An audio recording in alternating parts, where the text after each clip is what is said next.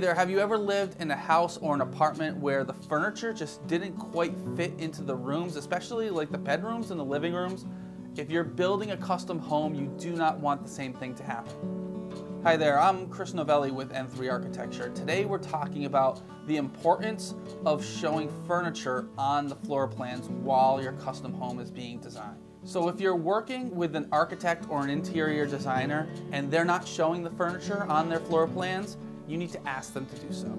And this is especially important in the early design phases where the rooms are still being laid out and the sizes of the rooms are being determined. The other thing you need to let your architect or interior designer know is if you are using any of your existing furniture in your new house or if you're going to be buying any new specific pieces of furniture for that house. And I recommend having a meeting solely to discuss the, the size and type and locations of furniture within each of the rooms before the design gets too far down the line.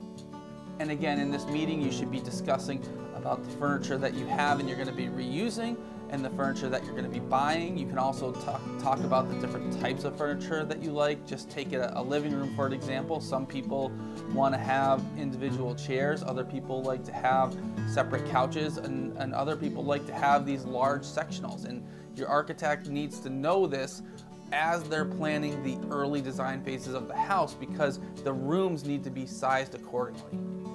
And even think of a bedroom. If you take just a standard 12 by 12 bedroom, you might think that that's you know, it's a it's a not a huge bedroom, but it's a decent size, and your furniture should be able to fit in a 12 by 12 bedroom. But that's not always the case because things like door location and window location and how you enter into the room and how you circulate either through or around the room, that all affects the, the places where you can fit furniture in. So you can't just assume that your furniture will fit in any room size. All right, thanks. That was a quick tip today and hope to see you in the next video. Thanks.